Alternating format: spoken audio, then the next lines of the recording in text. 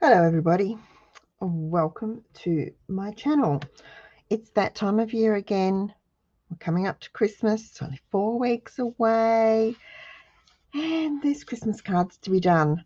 Now, if you've been doing the Own Your Christmas Challenge or you're a little organized, you'll have your Christmas cards already done, but sometimes you need more, sometimes you forget, you run out of opportunities and you need to get them done in a hurry. This is a really simple template I'm going to show you that you can batch make in no time. I've already gone ahead and prepped um, most of it. Um, I've done the card bases in two orientations. I've done the sentiments. I've done the card fronts and I've stamped the inserts already. So these just need to be put together. I'm going to quickly show you the fastest way to make your card bases if you are making them. Otherwise, you can use ready-made card bases. It's fine. I will use very vanilla cardstock because that is what, whoops, my next cards will be based on. Okay, A4 cardstock, cut it down to 29 centimetres. That will leave you with a about a 6 mil quarter inch strip. Don't throw it out. It is very useful. Now, two ways you can do this. You can then oh, score first, Kath score at 14 and a half centimeters and I am using my paper trimmer to score and cut because my Stampin' Up paper trimmer does both. Now I can move the cutting blade up and I have two A-fold card bases done. Or I'll get another piece of very vanilla if that's not the orientation that you want to use. I need one sheet, not half a dozen. Again, we're going to trim it down to 29 centimetres. Now, I know a lot of people will just fold it in half. That's fine if that's what you want to do. I like to make it easier for measuring, especially for my mats, and not do you know, seven millimeters or eight millimeters. It nearly drives me nuts. Do it in half mil, half centimeter in increments. Keep that strip. Now we are going to score on the ten and a half inch. Laid out of the way, scoring. I'm going up and down a few times so that I can see it and cutting at 14 and a half centimeters. And that gives you a card. Oops. Let me get this out of the way now. And that will give me, put my silicon mat down so I can see. There we go. Where's my bone folder? And I might as well do this while I'm here. Get rid of Okay, I'll do them both while I am here. Okay, folding in, lining up the edges, lining the edges, walking back. Okay, same deal, lining it up, walking it back. line up line up your bottom edges. That one didn't look, that one's out. So let's try again. Line up your bottom edges so they are level and then walk your card back. You'll end up with a perfect fold every time. There we go. Walk back. and use bone folder to burnish. Okay, that's two more done. Just wanted to show you that so that you know what we're doing. With the little strips, I've cut down um, six in Mossy Meadow, six card bases in Mossy Meadow, six in Cherry Cobbler. And I have kept the strips I've cut off because I'm going to use them. Okay, so again, we need to fold and burnish. So let's go fold, burnish. And I'm folding with the, when you score, you've got a bumpy line and an indent. I'm folding with the bumpy line to the inside. Excuse my head if you got my head in the way, just so I can see what I am doing. Because there's nothing worse than having a card that's slightly off kilter. Now, this is one of my favorite templates to be used. Works perfectly for Christmas cards, but I'll show you a birthday card that I've done with it. You can use it for new babies. You can use it for get well, anything, but it really lends itself to batch making cards. Now let's do these ones. Cherry cobbler. Again, the score indent is to the inside.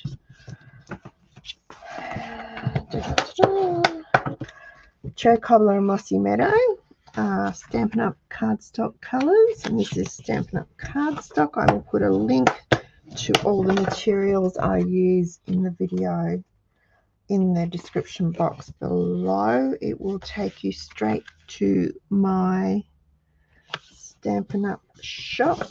If you don't have a Stampin' Up demonstrator and you would like any of these products or a catalogue or you would like some help, you've got some questions, let me know.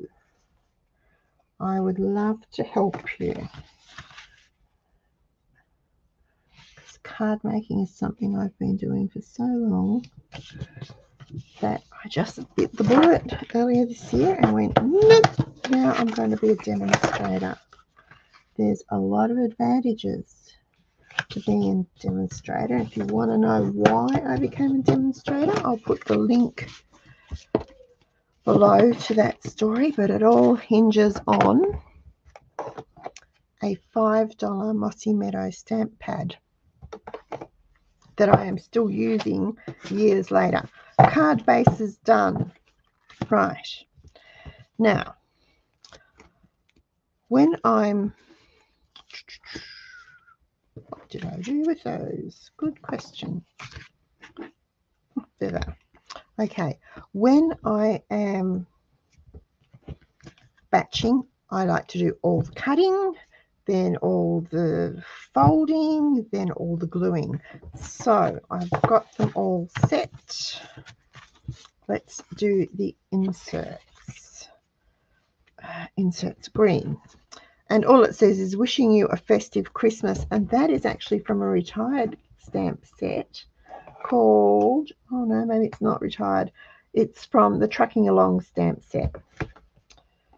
Um, check. Now I can't remember. I've had a mental block. Okay, I'm using art glitter glue. And you'll see double-sided because I mucked one up.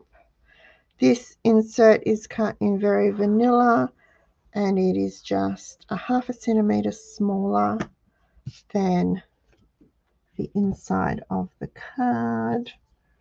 So I get just a nice neat little border now I tend to leave them open and flat just to give the glue time to dry.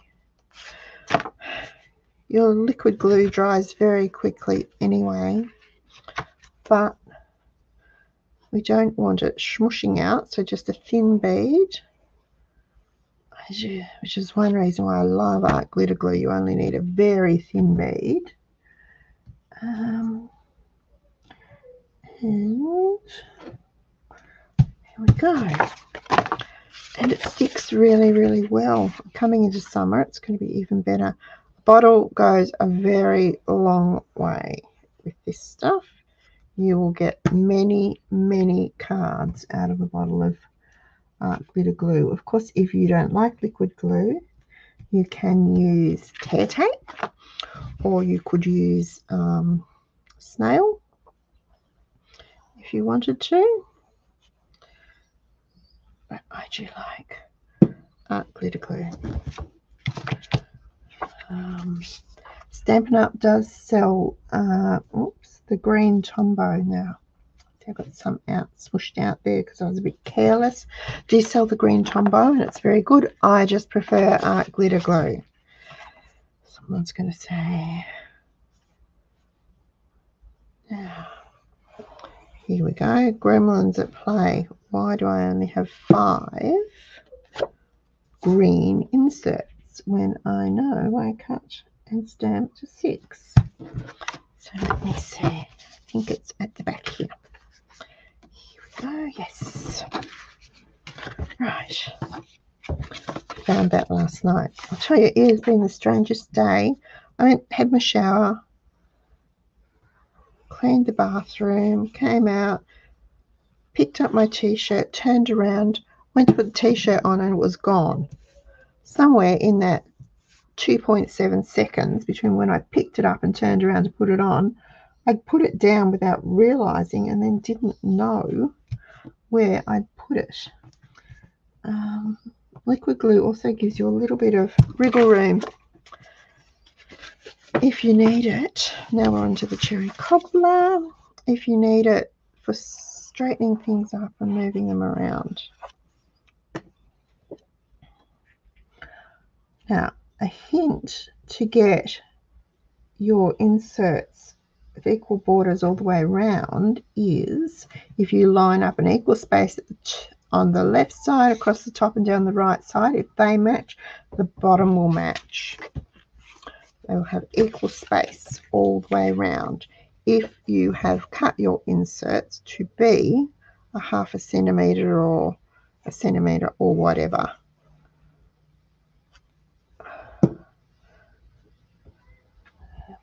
Let's just line it up so it's equal. Down a bit. That's it. Cool. This is going very quickly. So much fun. Have you all finished your Christmas cards? Isn't it good that we, you know, with the price of stamps, I was afraid that the cost of sending Christmas cards would go up, but still 65 cents, folks for 2023 anyway. So that's one good thing to come out of Australia Post this year. Christmas stamps.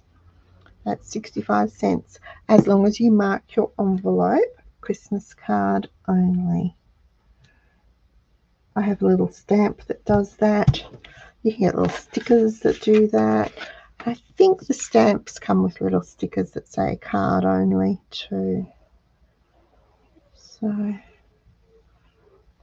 there we go. They are available up until I think, oh, I want to say the 3rd of January, but I don't know why I want to say that. 31st of December and for postings up until the 3rd of January, I would check that. I won't, don't take my word for it. Check it on the AusPost website. Okay, insides are done. Now, you will see that with these, oops, that one's a bit crooked. Crooked at the top. Wasn't watching. I've stamped in the middle. Stamped in the middle. If you don't want to write a great big long message, you just want to write a dear Jane from John or whatever, stamp in the middle of your insert. If you want to write a bit of a nicer message, dear Jane, Hope you and the family have a lovely Christmas. Look forward to catching up in the new year, love, John. Put your greeting either at the top or the bottom so you've got clear space to write. I have a customer who doesn't like leaving messages. She likes to write to from, dear whoever, from whoever. And so she much prefers, and I know if I'm doing cards for her, to stamp in the center. Um, if you want to make this into a family letter, put another piece of very vanilla over here. You could even go onto the back and write your letter there. Your family catch-up letter. Right. Okay, that's 12 cards. Now we've got the mats done. We'll do the red ones first because I don't need to think about these. These are all the same. Designer series paper on a piece of very vanilla cardstock so that we have a nice contrast. And again, art glitter glue. Now, I'll explain this in a moment. Let me get this, like this, onto here. I wanted to do a sentiment on the front. So I stamped Happy Christmas Wishes and I wanted to punch it out. I didn't want to, I had all this very vanilla cardstock here that, you know, is going to be wasted. So what I did was punched out using the modern oval die. Isn't it nice? I love this die. Punched it out before I stuck the DSP to the front and then I was able to stamp onto them. Saves just a little bit of cardstock make sure if your paper, your designer series paper has a one-way design that you are putting it on the card the right way up. Because you know we've all made mistakes and not you know realized we've opened the card the wrong way or stuck it down the wrong way. Sometimes you can get it off. Sometimes you just have to bite the bullet and start from scratch.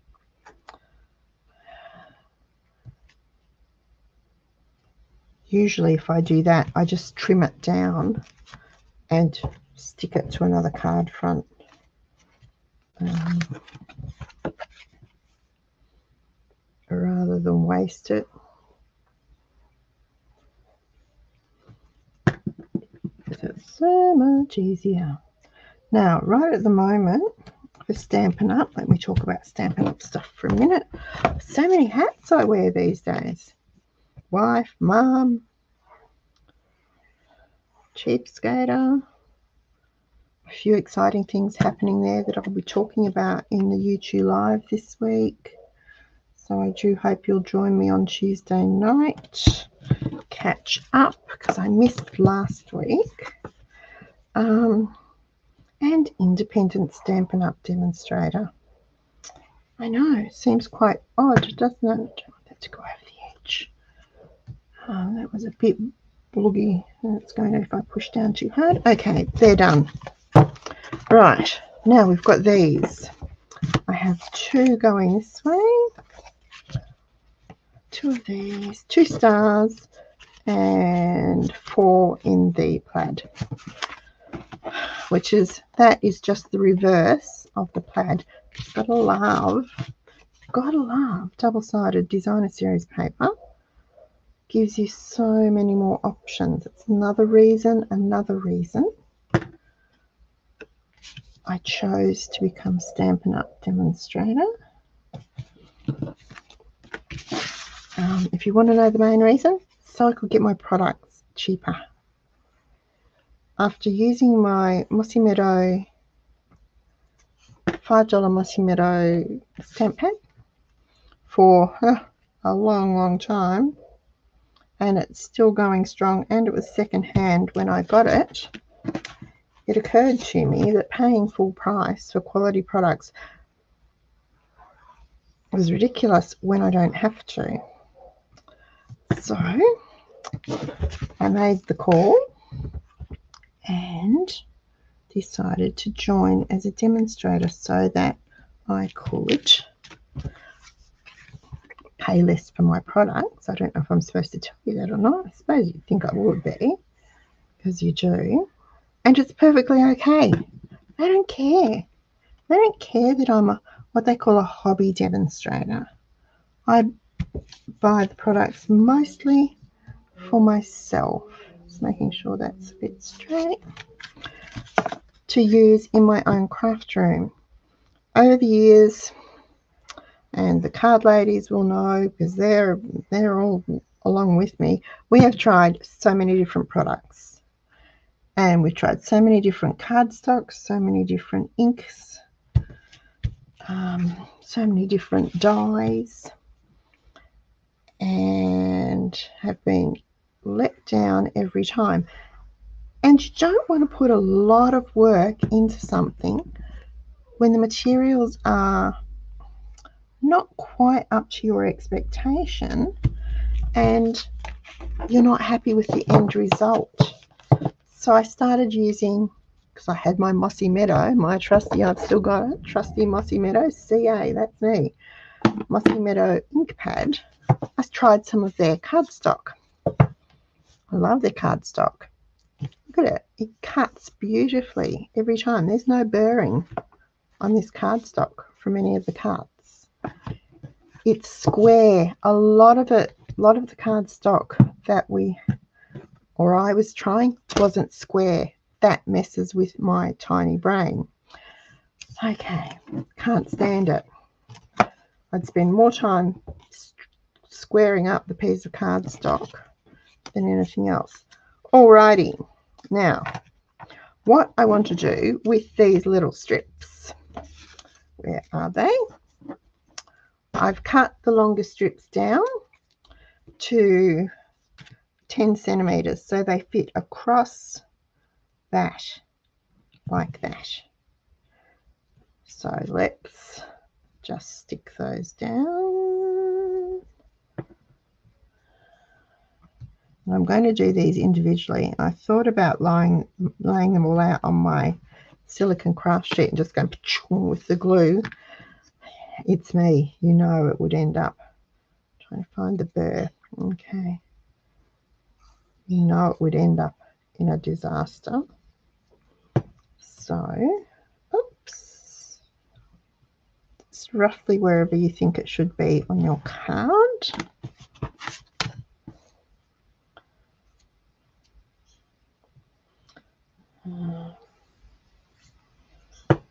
like so.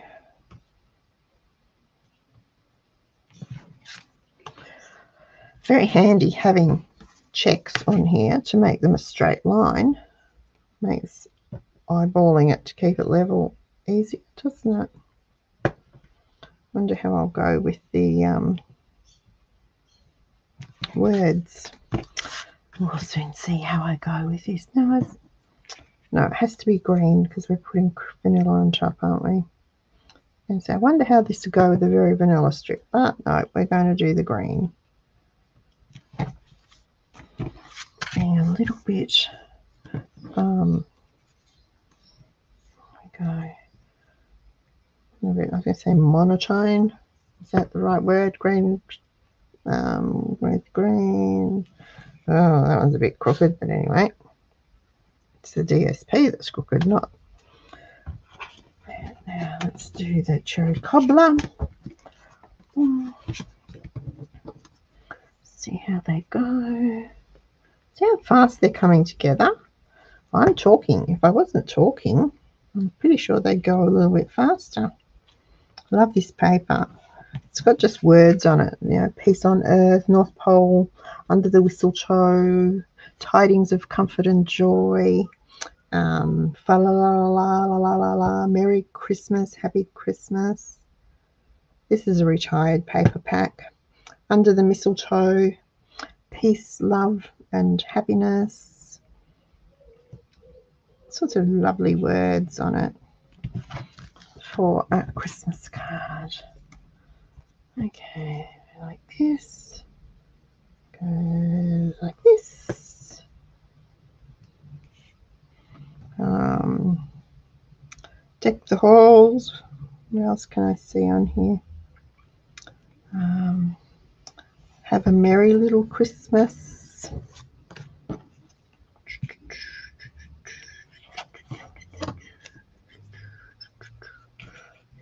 Sometimes I pick them up and they don't look quite the right size. I'm a bit skeptical.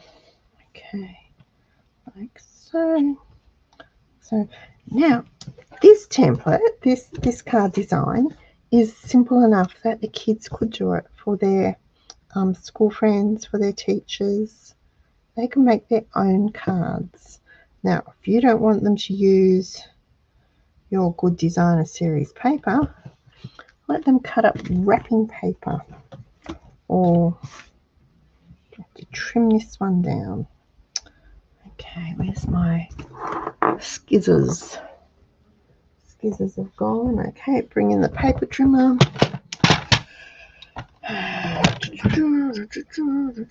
Had to be at uh, nine and a half. Nope, ten. Okay, hold it. So it's just a tiny sliver I'm taking off.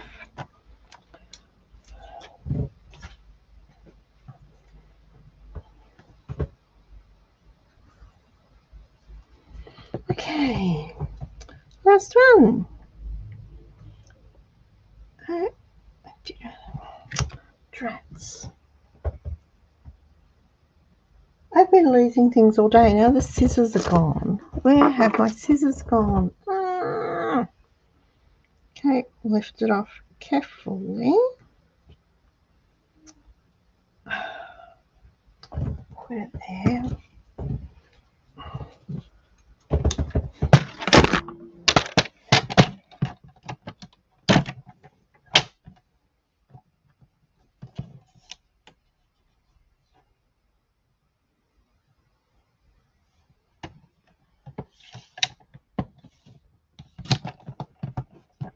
Try again. That's better.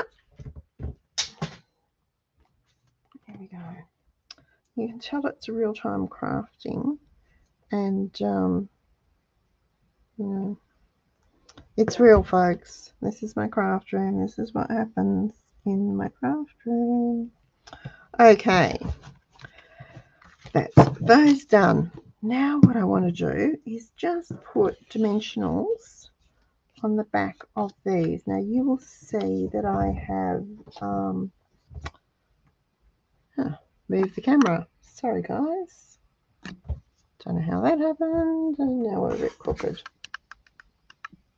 Anyway, I have um, inked the edges of these just because they look better inked. Now this packet of dimensionals has been a bit of a pain. One, two, one. If you are going to post it, I would suggest using maybe four on each one just to balance it out so that it doesn't get squished in the post. But most of these will be given out by hand. They're the green ones, so let's do the green ones first. And all I'm going to do is take the backings off, pop it over, and decide where I want it to go. Just there, like that. Let's do all these backings. Do them all at once, and it's slightly more time efficient I know. You'd find that hard to believe. Sometimes I do too. That one come off? No. Tricky little blighters, these things.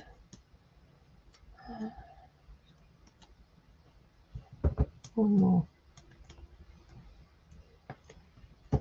Okay. Flip it over.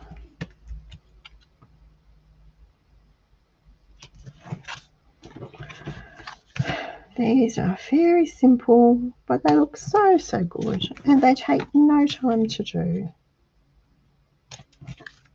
Yeah.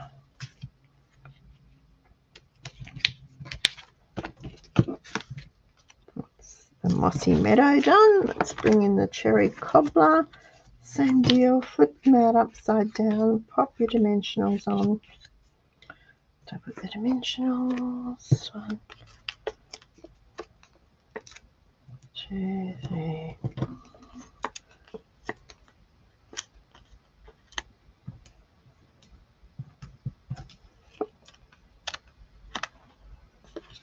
Hold up. This is very sticky.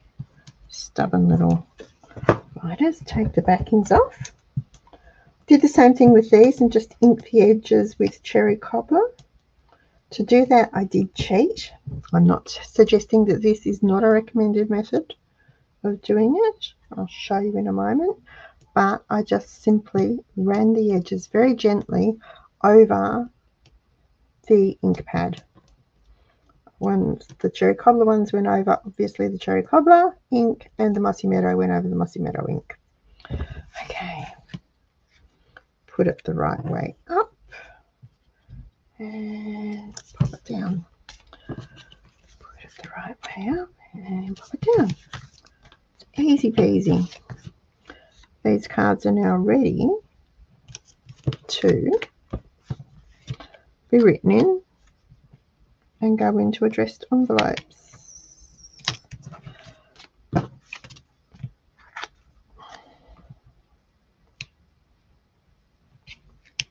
don't like the look of that. There.